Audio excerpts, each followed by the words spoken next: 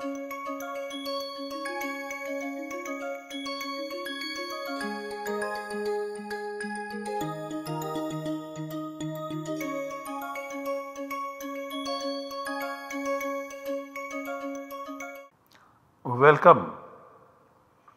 I welcome you all to this lecture in the course Introduction to Paninian Grammar.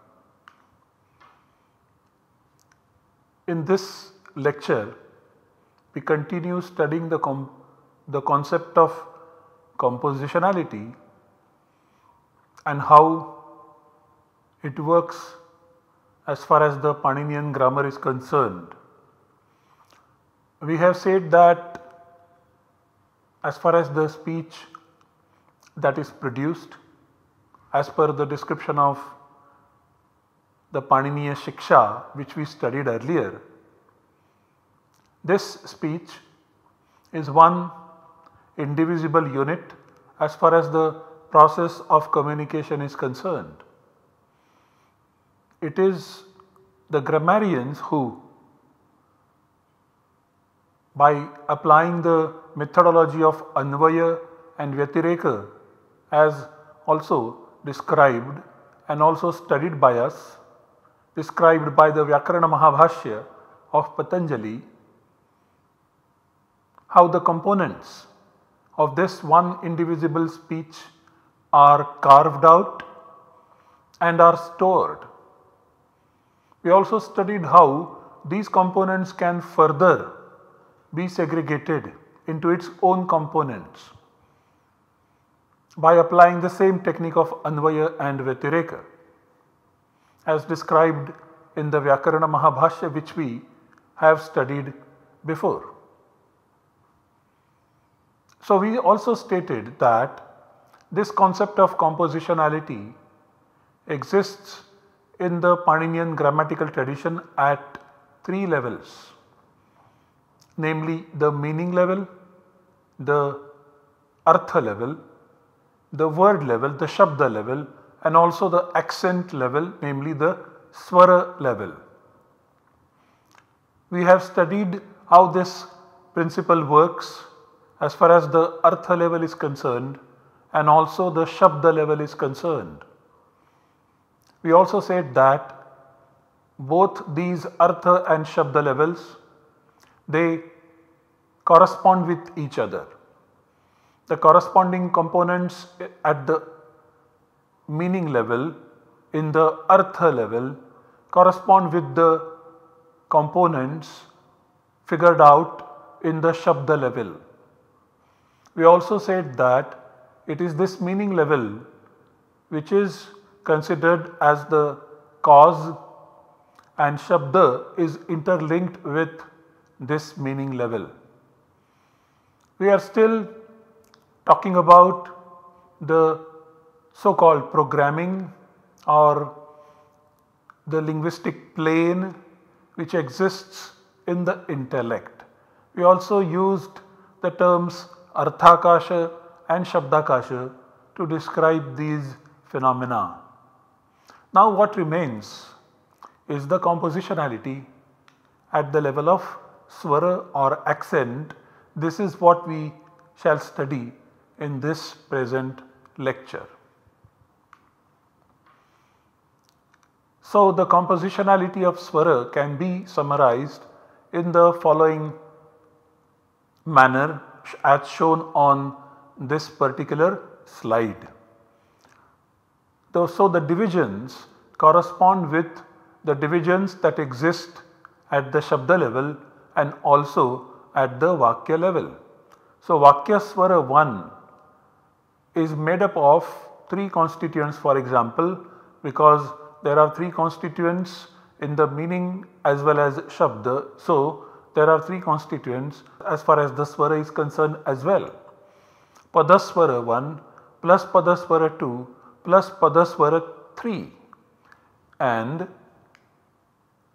there is this plus sign which is marked in red with some purpose as was discussed earlier in, in with regards the meaning as well as the word level, artha as well as the shabda level, the plus sign shown over here is what constitutes the swara of the vakya exclusively.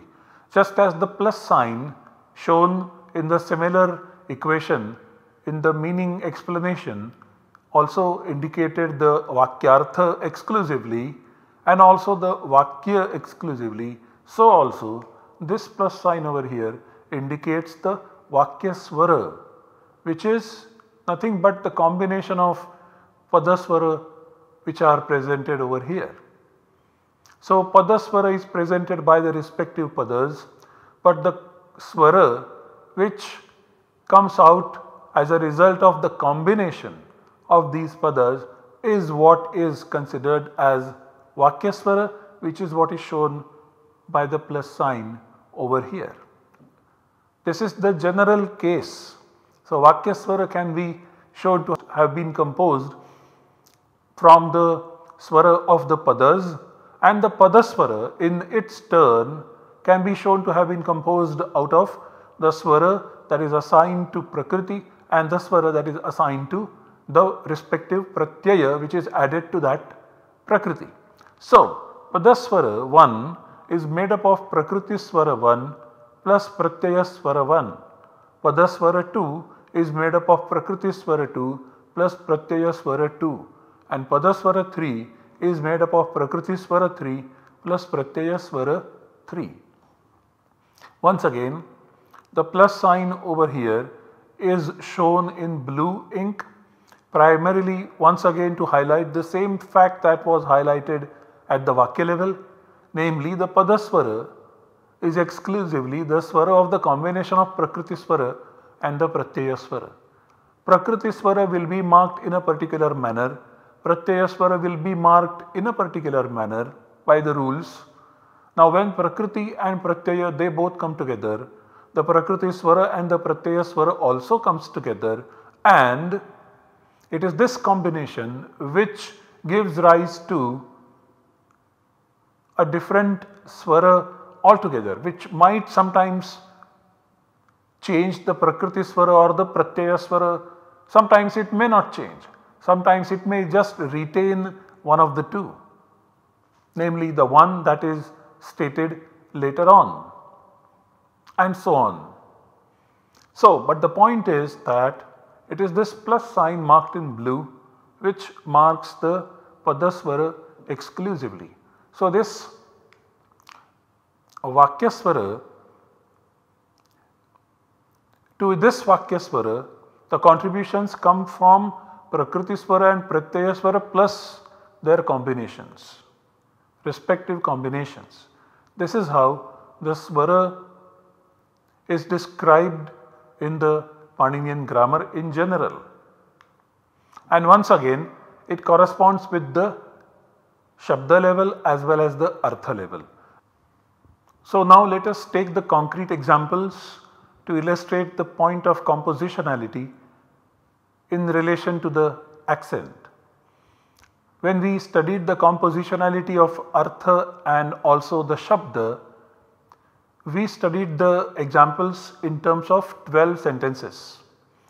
We classified them into two groups the first 6 sentences forming the first group and the second 6 sentences from 7 to 12 forming the second group. We call them dataset 1 and dataset 2. On this slide we have presented to you the dataset 1 namely the sentences numbered 1 to 6 together with the accent marks and that is why they are shown here as dataset 1.1. And so the second dataset together with the accent mark will be shown as dataset 2.1. Now here you see that there are some accent marks which are provided notably there is this vertical bar on top of this letter m on top of the vowel a and also a horizontal bar below this letter ra or a. These are the accent marks. Then there are words like gachati which have no symbol, no accent mark shown. So, what is the meaning of these accent marks? We shall study this in a while. But the point is that here is a data set marked with the accent information. This is very crucial. We shall also study that this is a sentential accent. When we break down the components of this sentence into the padas or the words, we will find different accents. So, we will look at the Prakriti Swara as well as the Padaswara in a moment. So now Gramam Gachati Ramaha is one sentence and then it can be shown to have the constituents in the form of three words Gramam, Gachati and Ramaha and so on.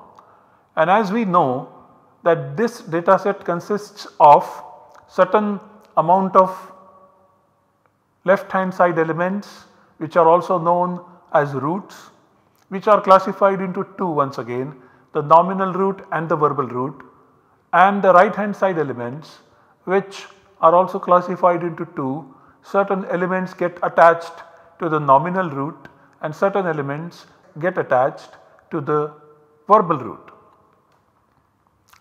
So, if we now go to those atoms, the linguistic atoms, we will note down these accents on those atoms. For example, grama has this accent mark on top of ma, gam has no accent mark, ram has the vertical the horizontal bar below ra, ma there is no accent mark, shala has got an accent mark on top of la, Mohana has got an got two accent marks below the letters mo and her and na is not accented. Drisha is not having any symbol of an accent. On the right hand side we have pratyayas namely um and this is having a horizontal bar below it. A is also having a horizontal bar below. Is also having a horizontal bar and sa does not have any accent mark. So, these are the accents that are marked on the Prakriti and the Pratyaya by the Paninian grammar and we should study what these symbols mean. We have already seen that there are three accents Udatta, Anudatta and Svarita which are the features of vowels. So, the first thing and the foremost thing is that accent marks are the accents are the features of vowels and they are not the features of consonants. So, s over here does not have an accent, there is no symbol of an accent but it does not have an accent. Why? Because it is a consonant. So, each and every vowel can be said to have the quality of getting an accent.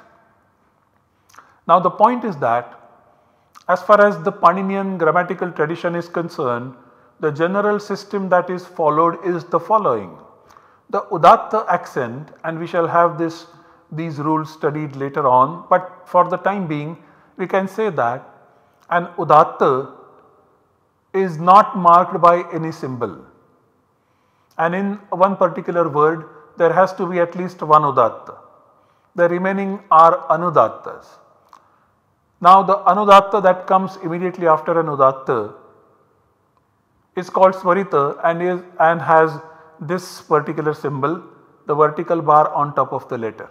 So in the word grama it is this A which is Udatta and therefore it is not marked and this A which is an Anudatta which comes immediately after this Udatta therefore it becomes a Svarita and gets this sign of a vertical bar on top.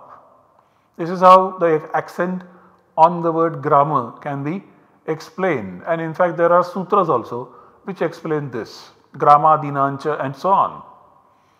Next we go to gam and here we observe that there is only one vowel. So this vowel gets accented, this vowel gets the udatta swara and obviously that is why it is not marked. In the word Rama, this udat, this a at the end is marked as udatta without any symbol and this is anudatta. So, it is marked with the horizontal bar below it. In the word shala, the word shala consists of the first vowel a as udatta. Therefore, this second vowel a is anudatta but it comes after anudatta therefore it is marked as a swarita marked with the vertical bar on top of it. This is how the accent in Shala can be explained. And there is a sutra also Gehar Thana Mastriyam that supports this. Next we have the word Mohana which is the proper name Mohana. And so by another sutra Phishonta Udattaha this has Na as Udatta. So all the vowels that come before it they are shown as Anudatta by the horizontal lines below them. Similarly next we have the verbal root Drisha which is also accented and without any symbol, accent symbol. The verbal root drisha as well as gama, they have udatta by the rule dhatoho.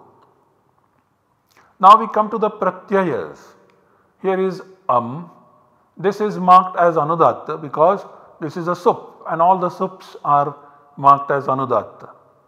Next we go to a and this is marked as anudatta because this is possessing the it sound per because it is stated as shap in the initial enunciation. So, this is a pit sound and any pratyaya which is pit takes an anudatta vowel. There is no udatta over here.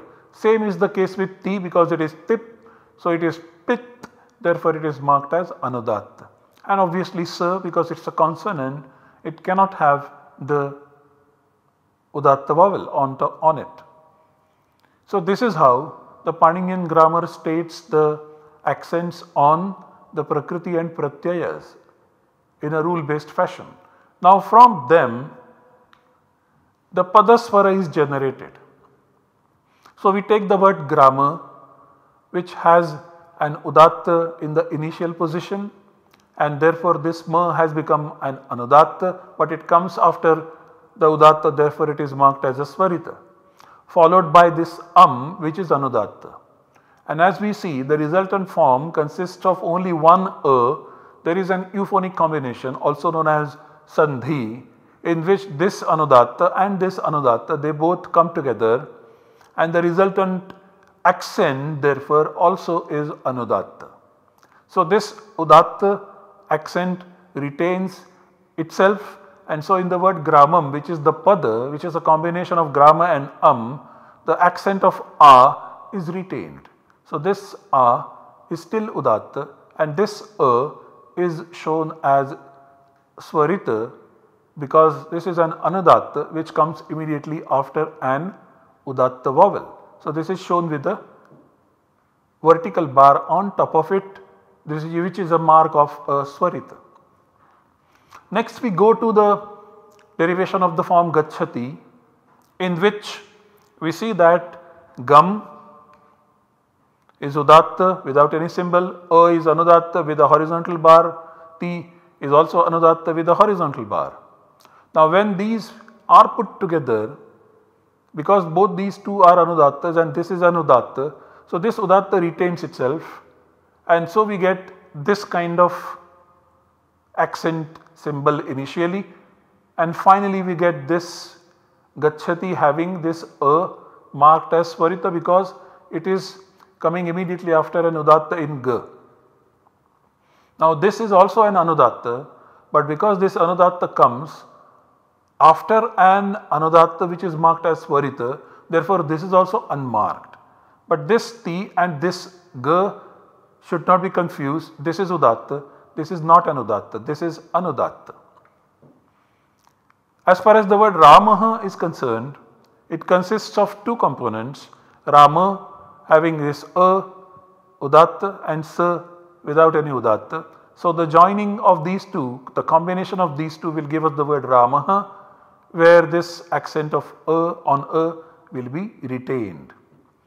Similarly in Shalam, we have Shala marked as initial udatta and am Same is the case with gramam and so the sandhi, the euphonic combination will generate the same accent as gramam. So this initial vowel still is accented.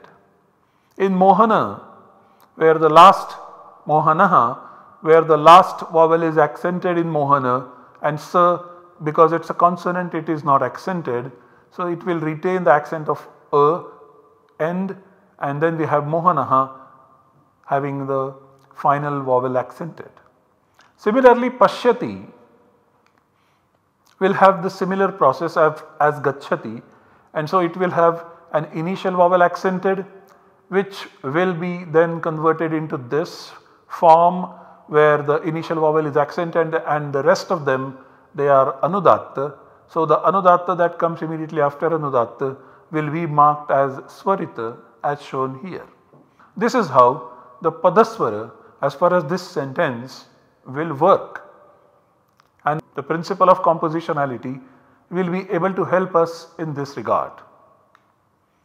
Now when we construct the Vakyaswara from the, this Prakritiswara and the Padaswara, here is one example. So now we have Gramam with the initial Udatta, Gachati as a separate Pada having initial Udatta once again and Ramaha as a separate Pada having the final vowel Udatta. This is the status. Now when these three words come together in this order Gramam Gachati Ramaha, now what happens is this sentential effect takes place and now this Gramam it retains its accent but look at Gachati. Now Gachati will have all the Anudatta vowels. This is the sentential effect because Gachati comes immediately after Gramam or any other nominal word. So then it gets all the Anudatta vowels and Ramaha is in the same form. Now when this Gachati comes in the initial position of the sentence then it retains its own form see the accent the word Gachati as shown here is similar over here. That is why the word Gachati is shown in the red ink on this slide. So now from this it is clear that when the verb Gachati occurs in the first position it retains its pada accent which is a combination of the Prakriti Pratyaya accent. But when the verbal root Gachati appears in the second position following the word Gramam then it loses its pada accent and acquires the new sentential accent.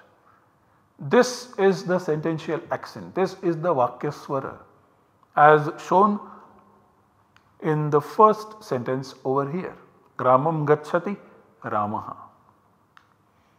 Now similar thing can be said with respect to the second data set 2.1 where we have sentences once again 1 to 6 from 7 to 12 Ramena gramo gamyate, Ramena shala gamyate and so on and so forth. Once again we have the Prakriti Pratyaya Swara explained to us in the similar fashion. The left hand side is the same. Now the right hand side is different. So we here we have inner once again this is a sup therefore it has got both anudattas. Sa because it is a consonant cannot have an accent udatta. Ya is accented because of the general rule that the pratyayas are accented in the beginning. Te is also accented and now when we join these together we get the following padaswara. So Ramena now here is an interesting point here this ma has a udatta accent followed by e and anudatta accent and as a resultant form we see a appearing over here. Now this, this A is a combination of an udatta A and anudatta E. So a combination of an udatta and anudatta is always an udatta. This is stated by the rules ekadesha udattena udatta and therefore this A becomes udatta. Similarly In other case mohanena, this a is udatta, this a is anudatta, the resultant form is a which is because which is a which is an udatta over here.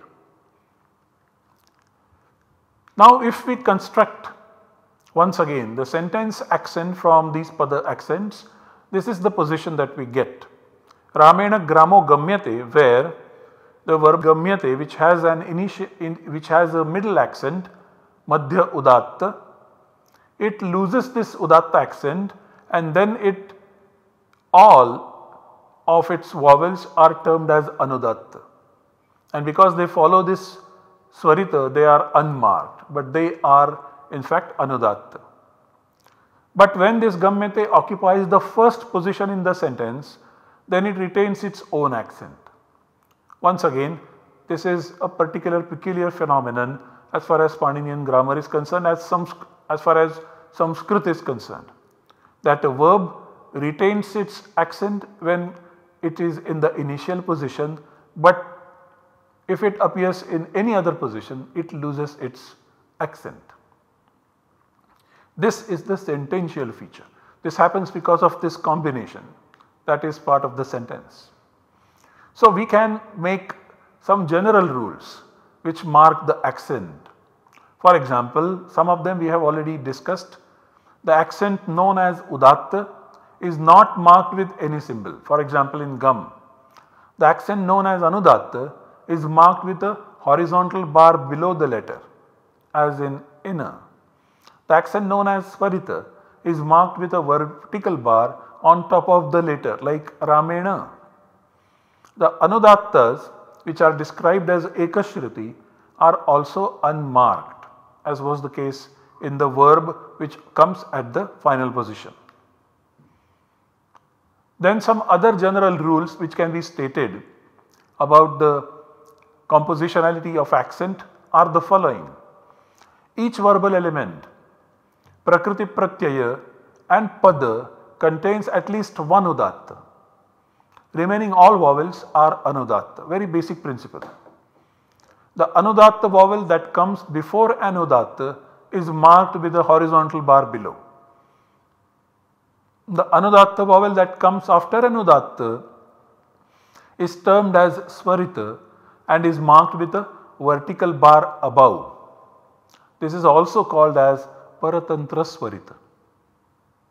The anudatta vowels which come after the paratantra swarita are termed as ekashruti and are unmarked as is the case with gamyate. Gamyate because it is a verb and it appears in the non-initial position.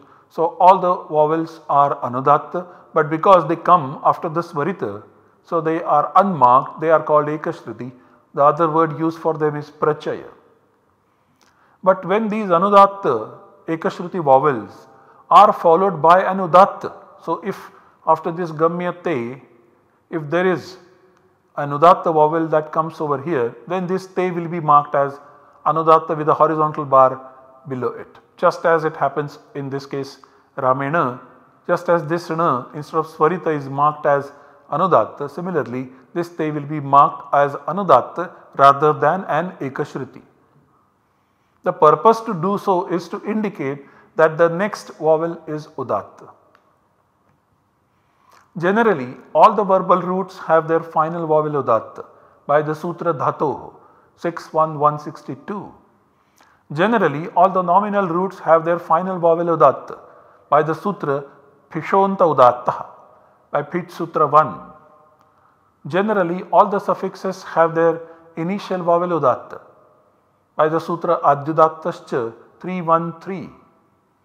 A verb or a tinganta has one udatta only when it appears in the initial position in the sentence or is part of a subordinate clause otherwise it does not have one udatta. To conclude we can say that accent plays a crucial role in the formation of padas as well as vakyas. Rules transform the prakriti swara and the pratyaya swara into the padaswara and the rules transform the padaswaras into a vakya swara.